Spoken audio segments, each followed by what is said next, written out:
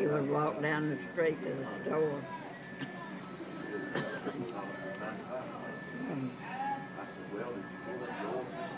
I hope my children have a lot of good, pleasant memories. I think they will. Oh, yeah. A lot of good memories.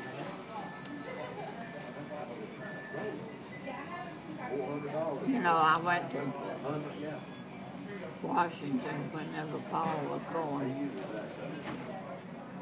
I never knew that. 1956. And back then, I must have flown. I have to get my breath. Um, because Jimmy met me at the airport, and we went in to get something to eat. And I remember at that time I was smoking.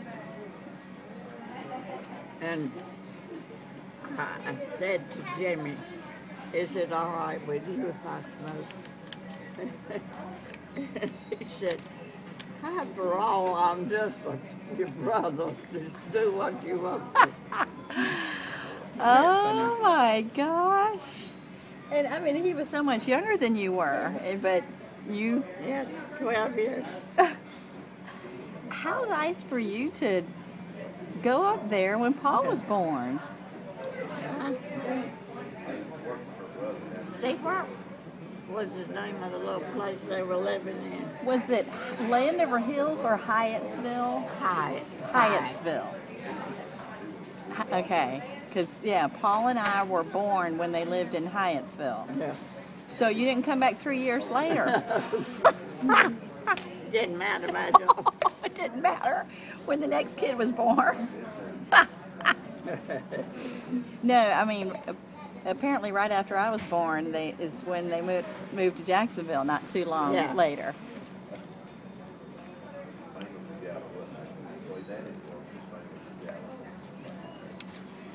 When did you give up smoking? That's funny they asked me that. The doctor's office. A long time ago. I remember I used to play bridge at night and I always had to smoke while I played. And I came home one night and I said several times I'd say I'm not going to smoke anymore because I'd have smokers, you know. But this one time I came home after playing bridge and I said, this is it. And I never have since. Wow. And they, well, I'd, I'd, I'd have a smoker's hangover the next day. Wow. Girl, I can't see what I'm doing. And it was years and years and years later when they realized how bad it was for Yeah. everybody. I mean, Yeah. back then everybody had a cigarette in their hand. Um, let's see.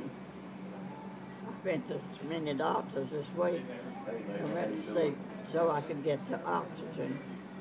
And they were asking me, oh no, somebody from Habitat came out. And uh, she asked me if I had ever smoked. Yeah, a long time ago.